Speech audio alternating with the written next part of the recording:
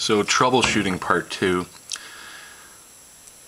This is one of the most understood pieces in this carburetor. It's the high speed check ball, uh, orifice tube, um, a lot of different names for it.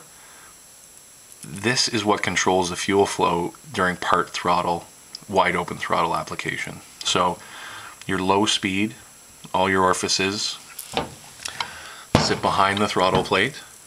You can't see them in there, but they're there, trust me. So when you tip into the throttle, it uncovers those orifices, like so, and that's what makes it the carburetor flow the fuel. So if you look down there, that's the venturi, the circular thing there. This high-speed ball, high-speed check valve, sits inside there.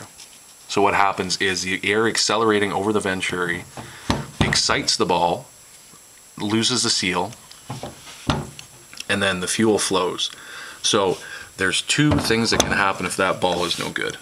Number one, it'll either flood mercilessly and pour fuel out the front, flood the bottom end of the engine.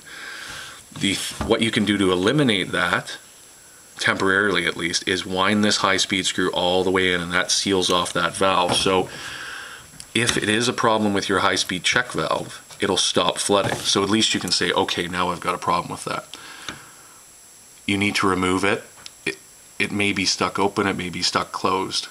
But at the end of the day, if it needs replacing, it is very difficult to find these.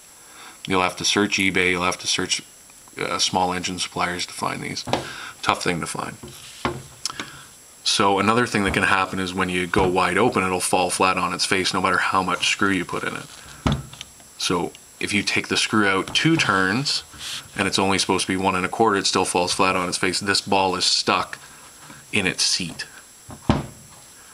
So to access that, obviously you got to drill out this Welch plug, not this Welch plug, but you got to drill out that Welch plug, pry it out, drive it out with a 3 16 inch screwdriver bit or maybe a quarter inch socket, something along those lines, and replace it or clean it, and then you should be good to go.